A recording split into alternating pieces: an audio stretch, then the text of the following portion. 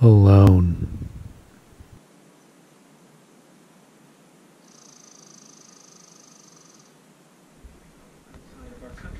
until further notice. Canadian travelers should return to Canada via commercial means while it is still possible to do so. Let me be clear. If you're abroad, it's time for you to come home. If you've just arrived, you must self isolate for 14 days. The airline I'm with is canceling all international flights for 30 days. I have five days to try and get an international flight to leave here. Okay.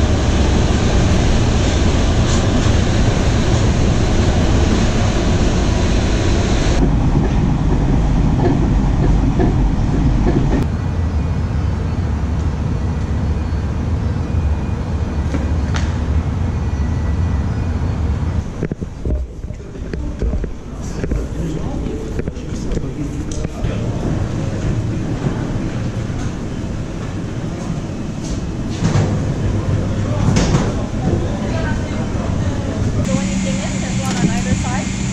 If for some reason they're blocked or they don't work behind there's one on either side as well. Did you see the oxygen mask?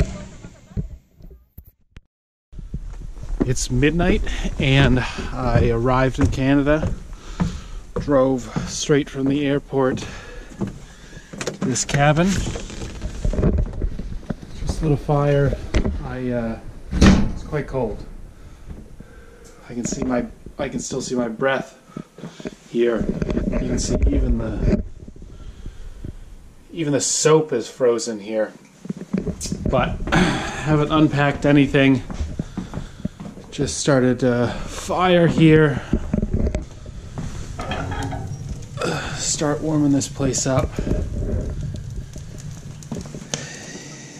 Hopefully, get it nice and toasty.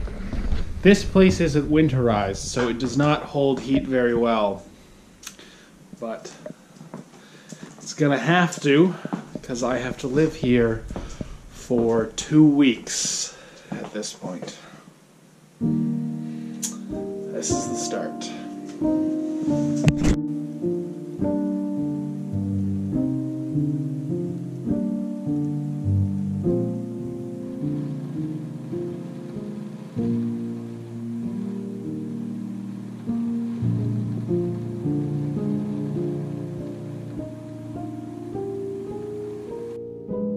I know some of you Probably a lot of you are feeling restless. Like you don't know what to do.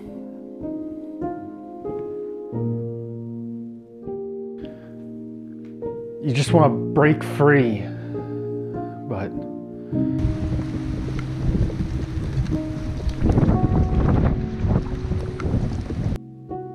trapped.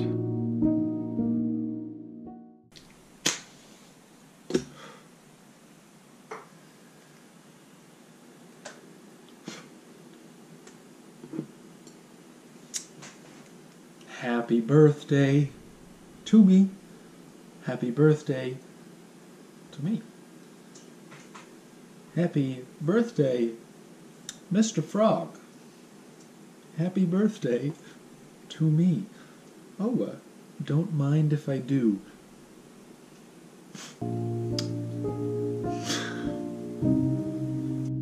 And I, I, and I know it could be worse. I'm in a very good position. I'm very privileged to be in the position that I'm in. To have a place that I can quarantine safely and to have people looking out for me. It doesn't, it doesn't mean it doesn't suck. To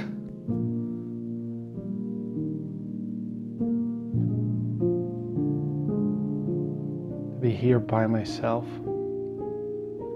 We all have our own struggles.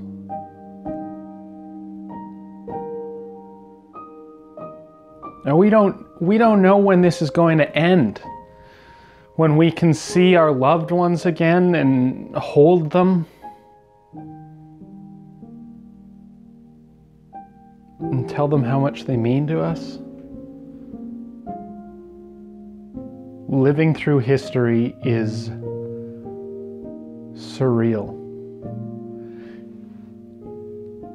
Genuinely surreal. Where you can't believe it's actually happening. But it is.